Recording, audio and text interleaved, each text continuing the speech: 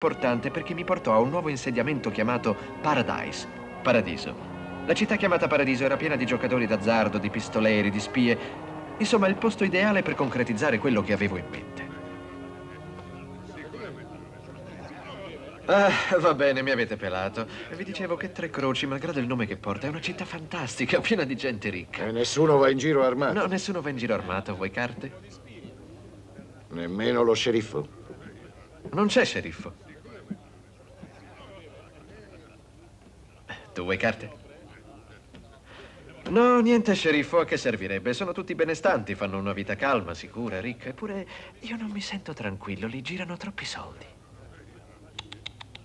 Sei una città ricca, non sei contento? No, perché con un paio di pistole due uomini decisi lì diventano i padroni. Sapete che è successo a Spring City? Due pistoleri hanno messo su un'associazione per proteggere i commercianti. Obbligavano i commercianti a pagare 10 dollari la settimana per questa protezione. E che succedeva a chi non pagava? Un grave incidente. In due mesi si sono arricchiti. Peccato per quei poveri commercianti. Sono molto preoccupato. Facciamo un altro giro? No, è già tardi, me ne devo proprio andare. Domani mattina parto presto. Salve ragazzi, ci vediamo.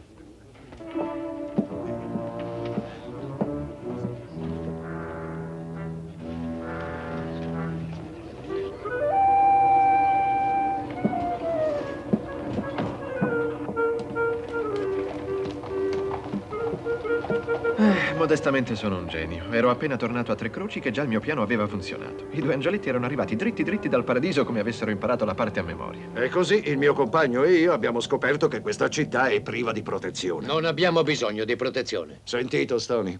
Barnett, questo è un mondo che cambia. Oggi non avete bisogno di protezione, ma domani? Ma nonno, ci stanno minacciando. Ma che idioti sono? E noi che ci preoccupiamo per... E loro? finitela, non sono mica nato ieri. La verità è questa. Volete che ogni commerciante vi paghi 10 dollari la settimana per non avere guai? Signor Barnett, è il nostro lavoro evitarvi dei guai. Ma non qui a Tre Croci. E ora fuori dal mio negozio, anzi, fuori dalla mia città. Quindi non volete sottoscrivere? Fuori di qui.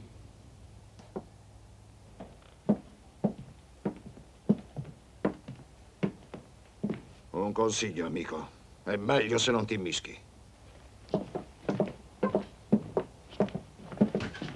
Ha commesso un errore, Barnett. Spero che non se ne pentirà. Lei non sa quanto ha bisogno di una protezione. Bravo, è stato magnifico, proprio magnifico. Certo, se avessi la pistola. Non concluderebbe niente. È lei che ha concluso. Non so che ce l'abbia mandati qui quei due, ma li sbatterò via io alla svelta. Ma lo farò a modo mio, senza usare le pistole. Mi sono spiegato, Cas? Beh, il sindaco è lei.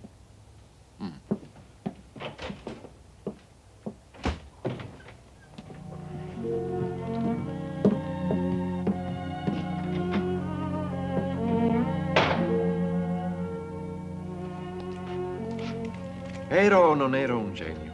Ora Barnett avrebbe cercato di cacciare quei due dalla città, ma senza riuscirci. E a quel punto li avrei cacciati io, così quei bravi commercianti mi avrebbero fatto sindaco, o perlomeno sceriffo, e mi avrebbero pagato per proteggerli. Ma tutto legalmente, onestamente. Non ero un genio. Esci fuori di lì, subito, con le mani in alto. Dico, ma è matta nascondersi lì dietro? cosa fa? Lei pulisce la pistola. No, vedrà che la mando a pulire in tintoria adesso. E senta, io le devo parlare. E allora parli, sentiamo cosa ha da dire, perché la nipotina del sindaco non crederà che... Non crederà che... che io... Non... Ma questo non lo puoi fare. Perché no? Beh, perché quasi non ci conosciamo, ecco. Non importa. Tu sei tu e io sono io. Beh, Nancy, Perché ti fai tutti questi problemi? Devi solo guardarmi un momento. Ti piaccio o no?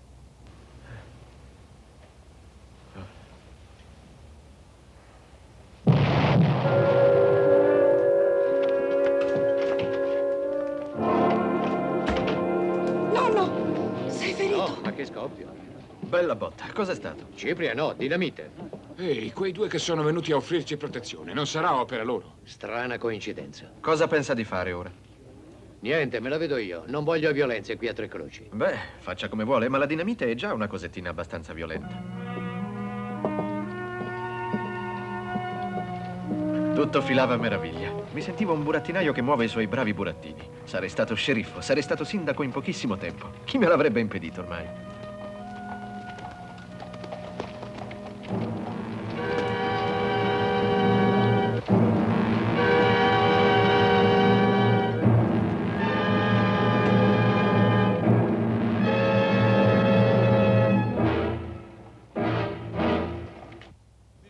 A Tre Croci non si parlava d'altro. La gente era eccitata come dopo uno spettacolo al circo.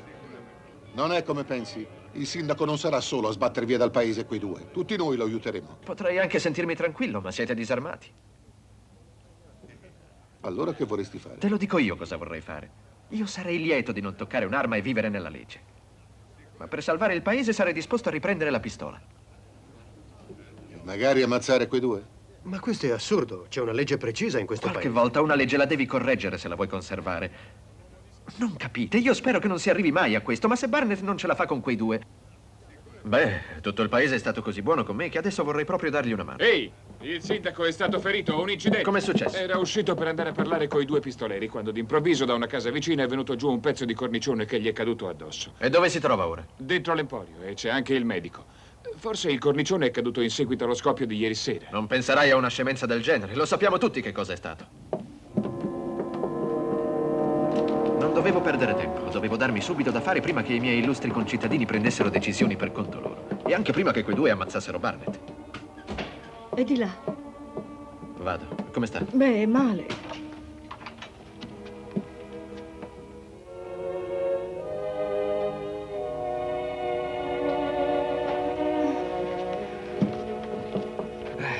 male. Nancy, non ti preoccupare, ce la farà. Certo, forse sarà meglio che lavori un po' meno. Io mi posso occupare dell'emporio. Si può anche ritirare dagli affari, sono sicuro che ha già un bel gruzzoletto. Cosa? Ma no, non ho nessun gruzzoletto. Non con tutti i soldi che fa col negozio, con le entrate extra andiamo. Quali entrate extra? Ma, ma tesoro, non sono mica cieco. Ho visto gente a dargli dei soldi. Deve avere le manine in ogni torta qui in città. Cass Kendall. Quei soldi erano la restituzione di un prestito. Ma va? Mio nonno ha prestato del denaro senza interessi a mezza città, domandalo in giro. E non sono solo i prestiti che lo rovinano. Ti ricordi quando hai comprato la diligenza? Gli hai versato 2000 dollari. Esatto, era la mia offerta. Beh, lui alla vedova ne ha versati 3000. Ma che cosa dici? Perché dovrebbe fare una cosa del genere? È da matti. Dal tuo punto di vista fare una cosa del genere da matti. Tu non c'eri quando hanno linciato quei tre. E non hai visto mio nonno quando ha saputo che erano innocenti.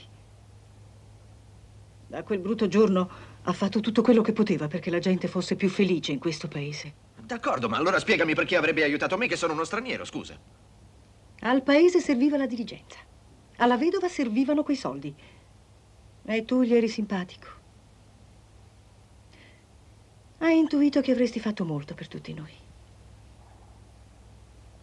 No, cara, se lui ha la coscienza sporca non è affar mio, non può coinvolgermi in queste storie. Io mi faccio i fatti miei e vivo la vita mia e non voglio sentirmi obbligato verso tuo nonno e i suoi giochi.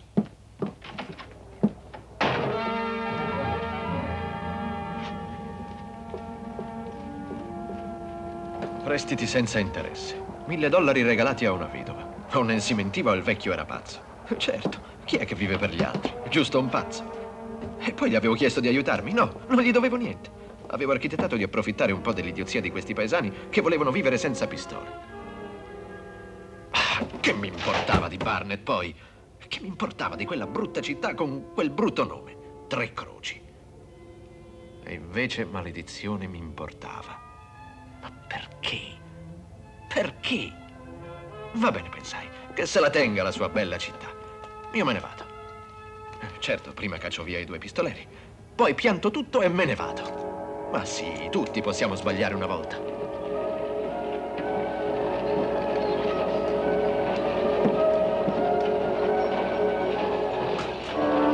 No, fermi, non vi consiglio di provarci. Sei rapido, amico. Bravo, capisci le cose al volo. Ne ho visti di più rapidi. Non in questo paese, e comunque voi ve ne andate prima di domattina. Domattina? Già, visto che sono più rapido di voi. Anche di me, Cass? Il mondo è strano. È una gioia rivederti, sai?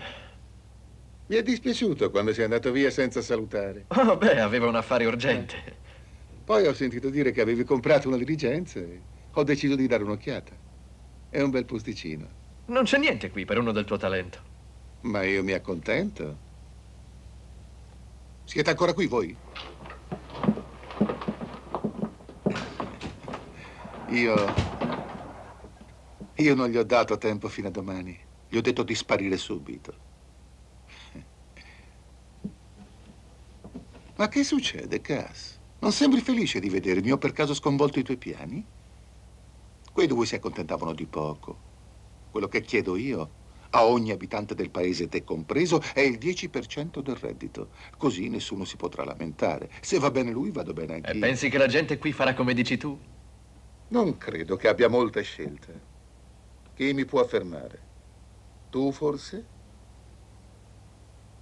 Non credo che oserai batterti con me, vero?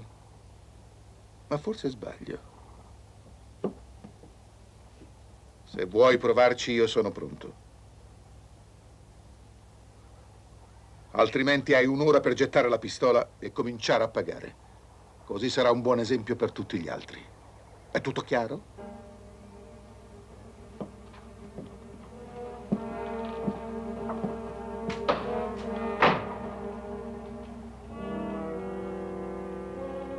Tre Croci non era male come paese. Non avevo voglia di andare in giro a trovarmene un altro. Che cosa dovevo fare? Potevo andarmene e lasciare il paese nelle mani di Pike. O anche rimanere e pagargli il mio 10%. No, no, no, no. Così, tanto per fare un'ipotesi, potevo anche battermi in duello con lui. Questo proprio non mi andava. Non mi andava. Com'è stato nonno? Molto meglio, ti vuol vedere subito. Vuole parlarti di quei due. Le cose sono cambiate, Nancy. È arrivato Pike Dillon. Chi è arrivato? Pike Dillon, uno che spara meglio di me. Senti, non vorrei mica... Mi aspetta fuori. Cass, non puoi farlo.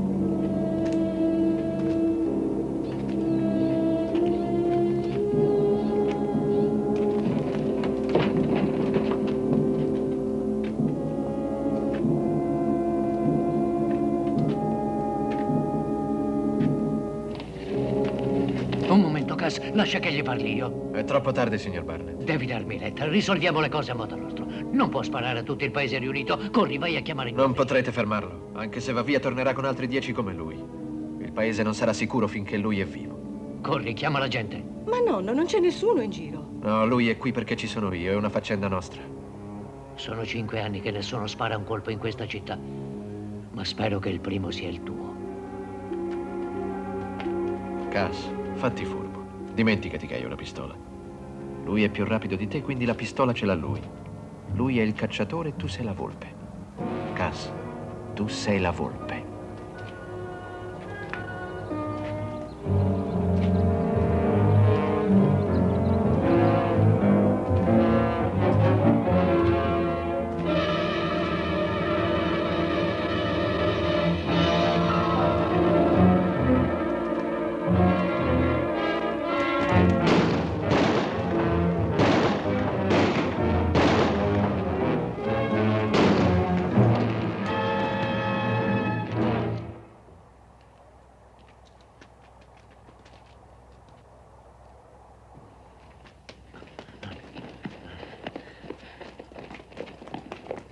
Ci metti anni per realizzare un'idea e un minuto per distruggerla.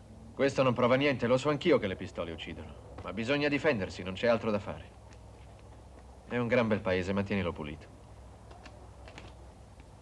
E allora cominciamo a rispettare le leggi. Vuoi che rimanga? E perché no? Se uno è pronto a morire per una città, ha diritto di viverci. Grazie. ben detto. Va bene, va bene, rimango.